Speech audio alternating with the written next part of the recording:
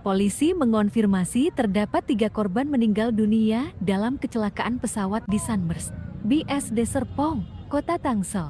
Kapolres Kota Tangsel AKBP Ibnu Bagus Santoso mengatakan, korban meninggal dunia berjumlah tiga orang. Menurut Ibnu, pesawat lepas landas dari pangkalan udara Pondok Cabai, kemudian jatuh di kawasan Sunburst, BSD Serpong, Kota Tangsel pada pukul 14.30 waktu Indonesia Barat, Minggu, 19 Mei 2024. Kepolisian bersama Komite Nasional Keselamatan Transportasi atau KNKT masih melakukan penyelidikan terhadap bangkai pesawat. Pihak kepolisian memberlakukan sterilisasi sekitar 100 meter dari area lokasi jatuhnya pesawat. Masyarakat sekitar juga ramai menyaksikan proses penyelidikan dari luar garis polisi.